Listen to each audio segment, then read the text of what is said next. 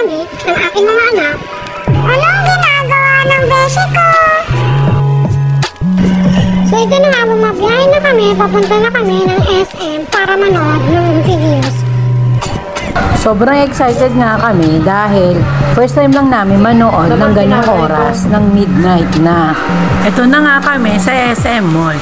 Naghahanap kami ng mapaparkingan na nakalat para sa mga manonood ng movie.